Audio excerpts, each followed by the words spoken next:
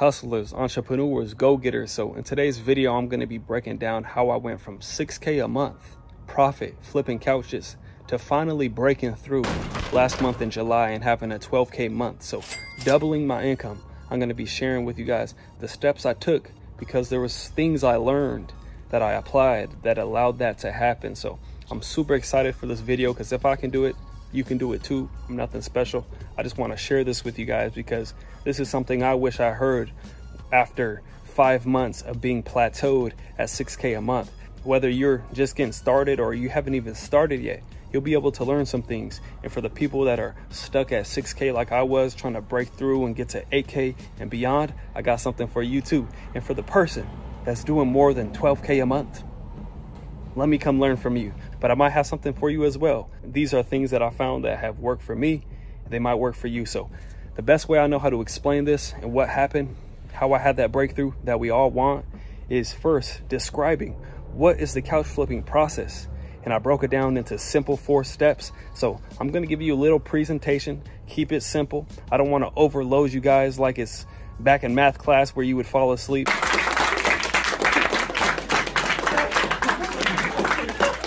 I'm about to give it to you just simple. Simplicity is key.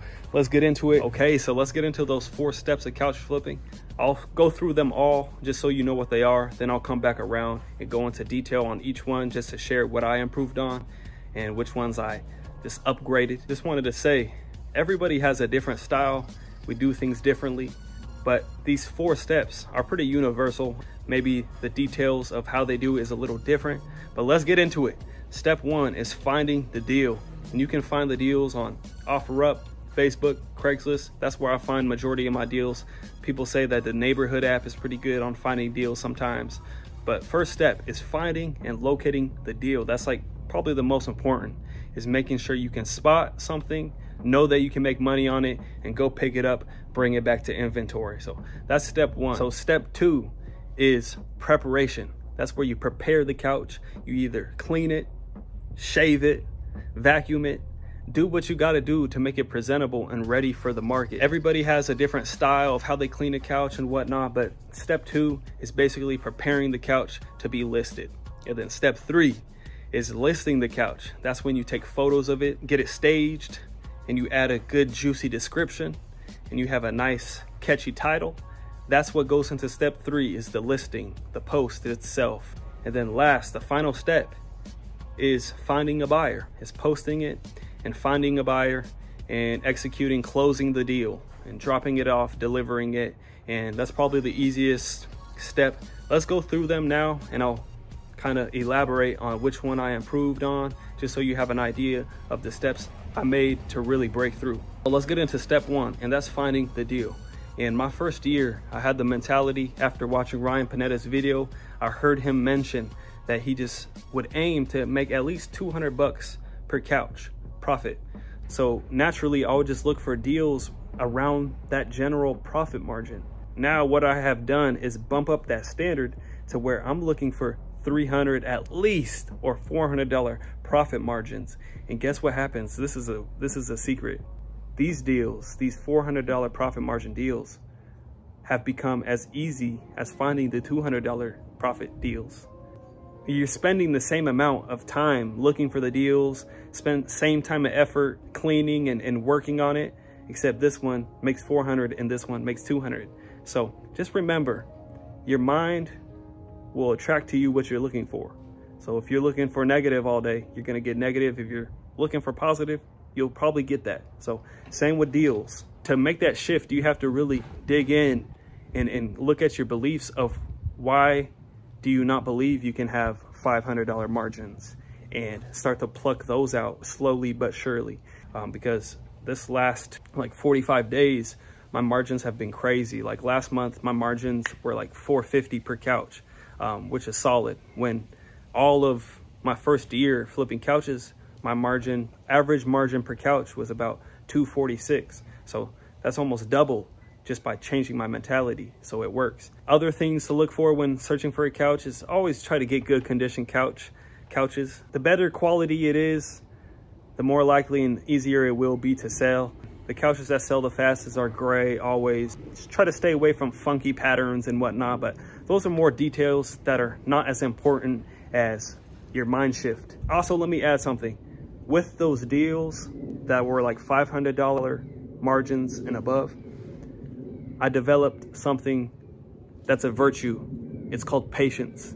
And with your big boys, your good couches that you know have value, be willing to sit on them and wait for the perfect buyer so that you can get top pricing. That's all I can add for finding the deals.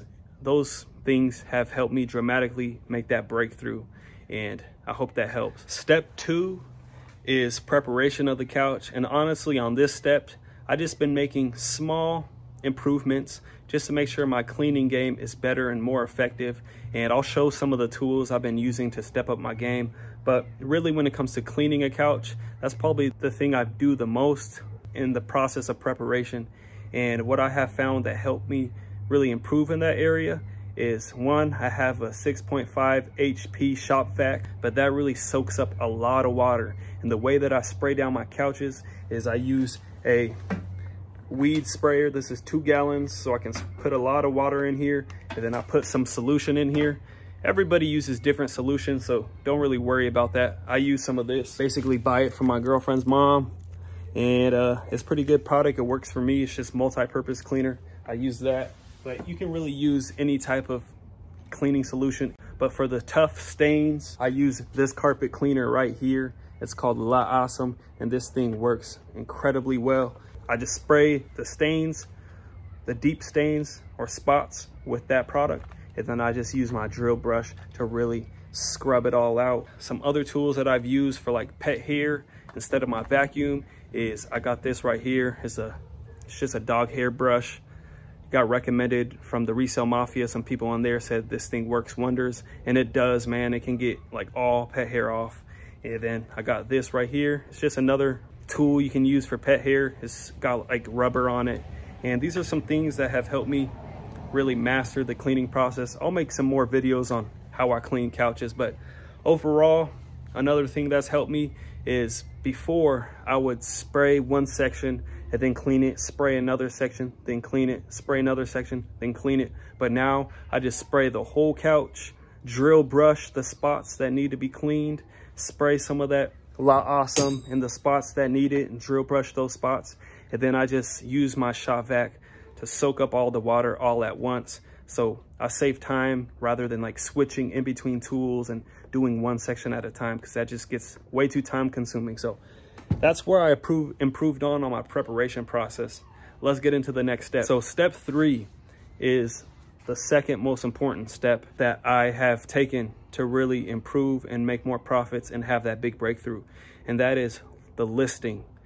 What goes into the listing is the description and your photos of the couches. So for example, let me show you this couch I got set out right here. See with this couch, I could have easily just set it out here with no carpet, no little coffee table with a nice fake plant, no throw pillows, and just left it out here and it would look good.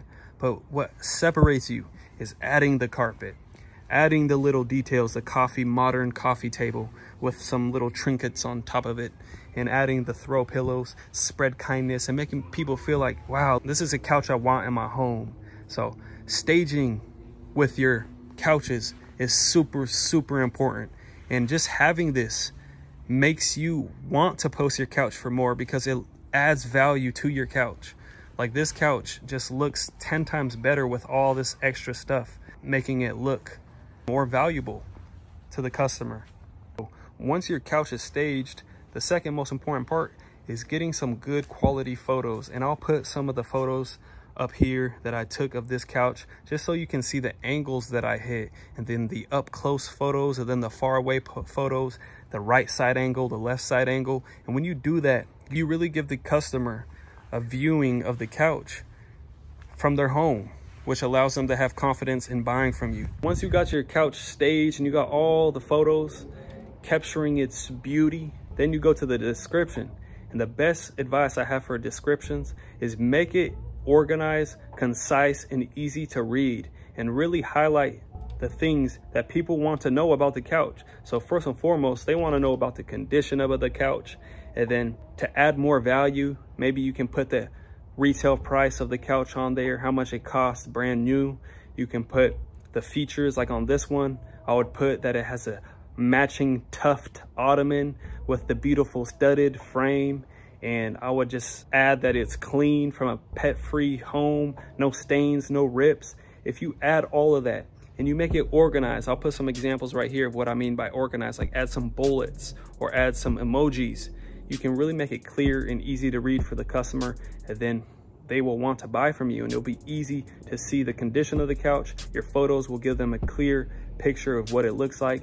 And then, yeah, voila, you feel confident in your couch with what you're posting. Just with taking these steps of better photos, staging my couches, and having a clear, concise, easy to read description, I've been able to attract more buyers, been able to raise my prices, been able to sell couches for more. All the benefits, all the fruits come from just those simple three steps. So hopefully that helps. I know there's people with way better staging game than me. So I'm not even trying to flex, but I have come a long way. If you would see some of my pictures before, like I'll give you some examples not what not to do from my old posts. Like look at this. This is hurt. This is this is booty cheeks right here.